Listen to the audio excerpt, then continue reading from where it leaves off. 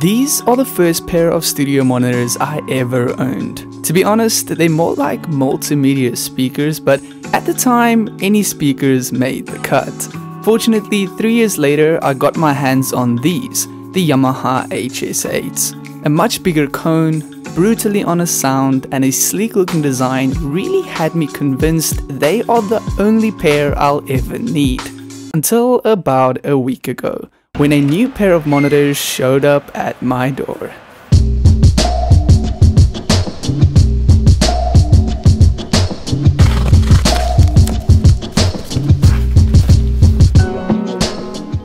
I've had these Adam Audio monitors for about a week already. I've spent the past two days breaking them in, and since I've set them up, the HS8s have remained in the closet. I have a huge soft spot for my Yamaha, so I'm not counting them out just yet. I will be comparing the sound between the two, but first, let's dive into what these new Adam Audio A8H studio monitors are all about.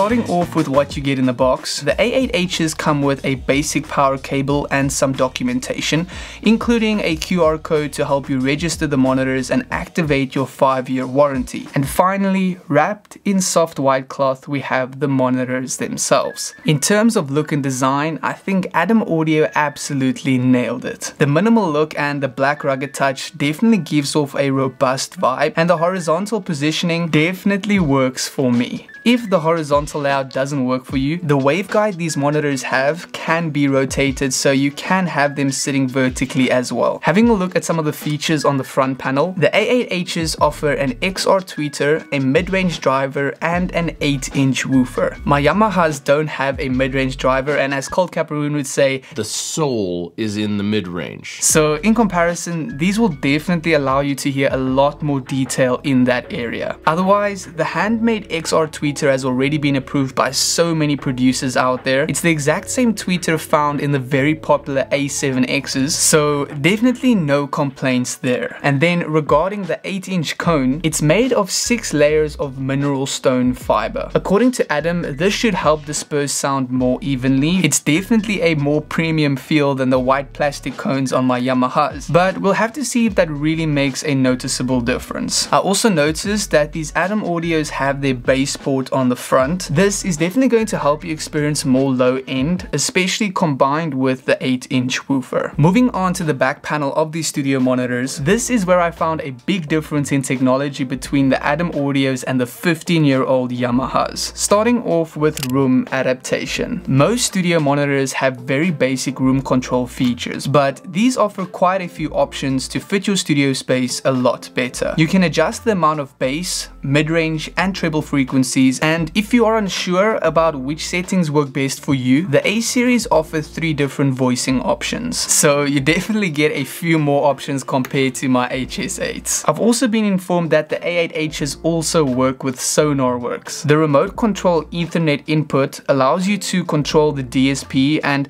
helps you set up your monitors with SonarWorks via the A software. I've never used SonarWorks before, but I've heard how effective their software is to help you get a flatter, more honest sound. Otherwise, the back panel offers an XLR and RCA input, no TRS input, you have your volume knob and your power output. Here are a few more specs on these studio monitors, just pause the video if you want to take a deeper look. Now, I am considering switching my Yamaha HS8s for these brand new Adam Audio studio monitors, and regarding the price gap between the two, it might be clear to you that the Adams have to be better. But the truth is, I know what sound I'm looking for when I'm mixing with the HS HS8s. But it doesn't mean I won't get an even better result mixing with these. Let's do a quick sound test comparison between these two before I make my final pick.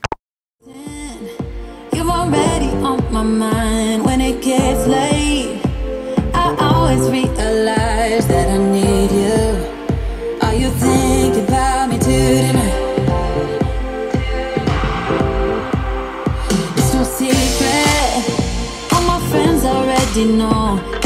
on my mind when it late. I always realize that I need you. Are you thinking about me tonight? It's no secret. All my feelings Are you thinking about me tonight?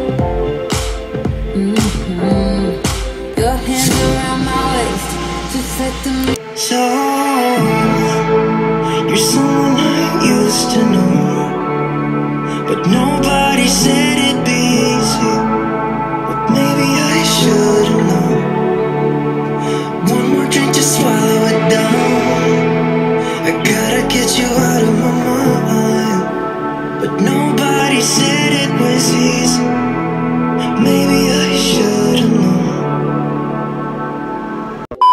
Okay, I think I've made my choice. I love the sound of both of these. I know the video doesn't translate the difference in sound very well, but for me, the Adam sound a lot fuller and the balance of frequencies just come across a lot more realistically. The mid-range driver definitely makes a huge difference. The XR tweeter sounds a lot clearer and putting all of this together with the room adaptation, being able to set these up with Sonarworks, the overall look and design, it might have been obvious from the start, but yeah, it's time to switch.